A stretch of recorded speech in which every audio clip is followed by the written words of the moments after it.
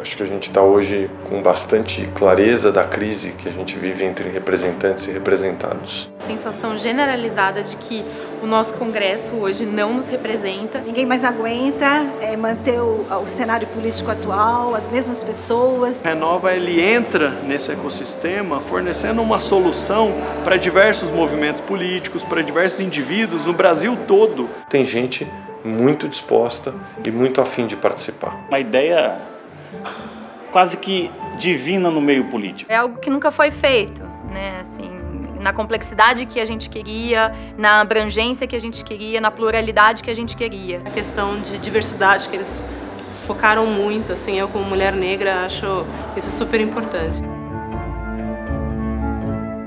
Não é um programa focado em partidos, em movimentos ou em ideologias. É um programa focado em gente, gente boa. E acho que não foi fácil para o Renova ter que escolher de tantas de tanta gente, mais de 4 mil inscritos, é 100, 150 pessoas. Essa tomada de consciência passa, de uma certa forma, por uma busca por alternativas. Tentar mudar esse paradigma de que pessoas boas não estão na política. Uma energia de fazer acontecer.